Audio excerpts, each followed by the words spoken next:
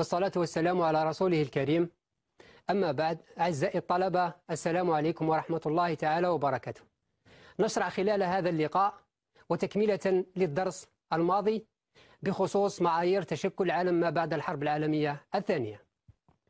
أعزائي الطلبة كنا قد تعرفنا في الدرس السابق على أن عالم ما بعد الحرب العالمية الثانية شهد بروز وظهور صراع جديد بين المعسكرين. المعسكر الشرقي الشيوعي بزعامة الاتحاد السوفيتي والمعسكر الغربي الرأسمالي بزعامة الولايات المتحدة الأمريكية. هذا الصراع عرف في القاموس السياسي بالحرب الباردة. فما هو تعريف الحرب الباردة؟ الحرب الباردة هي ذلك الصراع الإيديولوجي بين المعسكرين الشرقي الشيوعي بزعامة الاتحاد السوفيتي. والمعسكر الغربي الرأسمالي بزعامة الولايات المتحدة الأمريكية.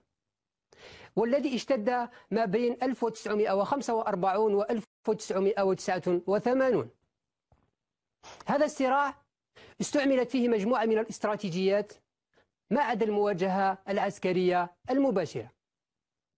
عزيزي الطالب ما هي استراتيجيات كل معسكر في مجابهة المعسكر الآخر. أو ما سمي أو ما عرف عند بعض المؤرخين بالوسائل والوسائل المضادة.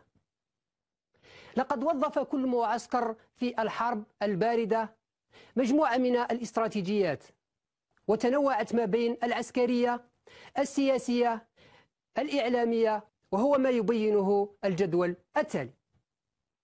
إذا عزيزي الطالب خلال هذا اللقاء سوف نركز على استراتيجية المعسكر الغربي وعلى وسيلة من وسائله الاقتصادية ألا وهو مشروع مارشال. وعلى استراتيجية المعسكر الشرقي وعلى وسيلة من وسائله الاقتصادية ألا وهي منظمة الكوميكون. وعلى وسيلة من وسائله السياسية وهي دعم حركات التحرر. نبدأ الآن باستراتيجية المعسكر الغربي وبوسيلته الاقتصادية ألا وهي ألا وهو مشروع مارشال. ما هو مشروع مارشال؟ وما هي أهدافه؟ هو مشروع اقتصادي ذو أبعاد سياسية طرحه كاتب الدولة للشؤون الخارجية للولايات المتحدة الأمريكية جورج مارشال. في 5 جوا 1947 وهو عبارة عن مساعدات اقتصادية. بلغت قيمتها حوالي 13 مليار دولار أمريكي. وهي موجهة لكل الدول الأوروبية بما فيها الاتحاد السوفيتي. للتخلص من الآثار السلبية للحرب العالمية الثانية. نجيب عن السؤال الثاني. ما هي أهداف مشروع مارشال؟ بطبيعة الحال لمشروع مارشال أهداف معلنة وهناك أهداف خفية. نبدأ عزيزي الطالب بالأهداف المعلنة لمشروع مارشال. إن الأهداف المعلنة لمشروع مارشال هي إعادة بناء الاقتصاد الأوروبي المنهار بسبب الحرب العالمية الثانية. أما الأهداف الخفية فإن مشروع مارشال لم يطرح لإعادة بناء أوروبا أو اقتصاد أوروبا فحسب وإنما كانت له أهداف خفية نوجزها في أربعة نقاط رئيسية. أولا المحافظة على النظام الرأسمالي في المنطقة أو في أوروبا بمحاصرة المد الشيوعي الزاحف أو القادم من شرق أوروبا. ثانيا فرض الهيمنة الأمريكية على أوروبا. ثالثا ربط الاقتصاد الأوروبي بالاقتصاد الأمريكي ورابعا هو محاولة جر الاتحاد السوفيتي ودول أوروبا الشرقية إلى الرأسمالية ومحاولة خلق تفكك وتشقق داخل أو انشقاق داخل الكتلة الشرقية أما الآن عزيزي الطالب كيف كان رد فعل الاتحاد السوفيتي اتجاه هذا المشروع؟ ذكرنا في السابق أن استراتيجية المعسكرين هي وسائل ووسائل مضادة بطبيعة الحال. الاتحاد السوفيتي كان رده اتجاه هذا المشروع هو مشروع اقتصادي مماثل وهو تأسيس منظمة الكوميكون. فما هي منظمة الكوميكون وما هي أهدافها؟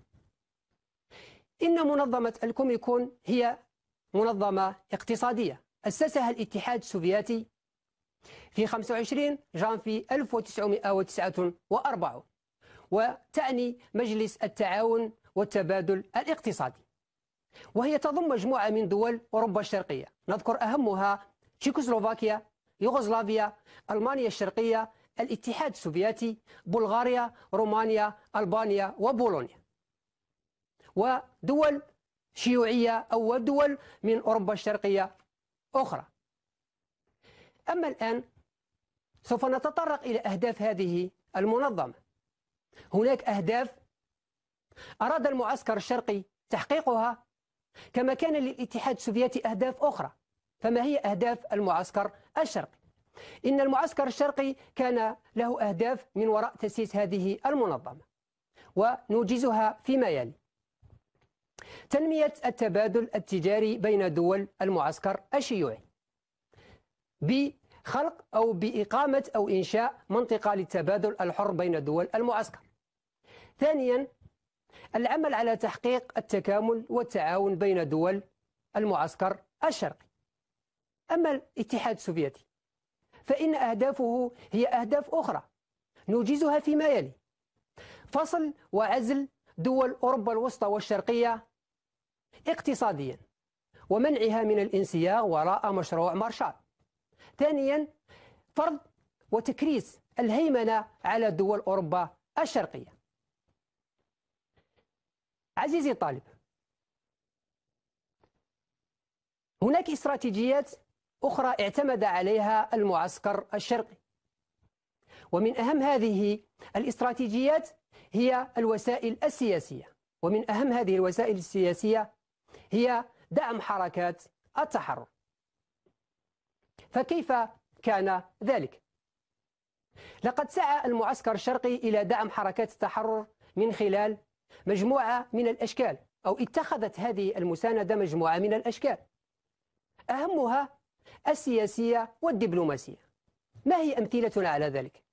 وقوف المعسكر الشيوعي أو الاتحاد السوفيتي على الخصوص إلى جانب مصر أثناء العدوان الثلاثي البريطاني الفرنسي الإسرائيلي على مصر سنة 1956 ثانيا مساندة الثورة الجزائرية من خلال اعترافه بالحكومة المؤقتة للثورة الجزائرية. ثالثا دعمه ومساندته للثورة الكوبية سنة 1958 أو ما بين 1958 و 1959 ما هي أبعاد أو السؤال المطروح الآن ما هي أهداف المعسكر الشيوعي من خلال دعمه لهذه أو لحركات التحرر؟ إن أهداف المعسكر الشرقي الشيوعي بطبيعة الحال كان هدفه هو محاولة أو توسيع المد الشيوعي في المنطقة ومنافسة الرأسمالية فيها.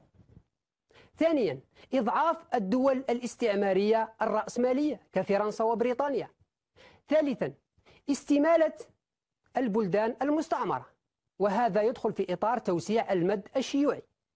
استمالة البلدان المستعمرة نحو الشيوعية أو نحو دول المعسكر الشرقي.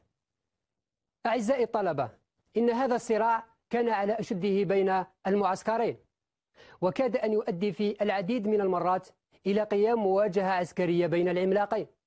المعسكر الشرقي الشيوعي بزعامة الاتحاد السوفيتي والمعسكر الغربي الرأسمالي بزعامة الولايات المتحدة الأمريكية. في العديد من بؤر العالم وهو ما عرف في التاريخ بالأزمات الدولية. فما هو تعريف الأزمات الدولية؟ وما هو تأثيرها على العلاقات الدولية؟ هذا ما سنتطرق إليه في اللقاء القادم إلى ذلكم الحين السلام.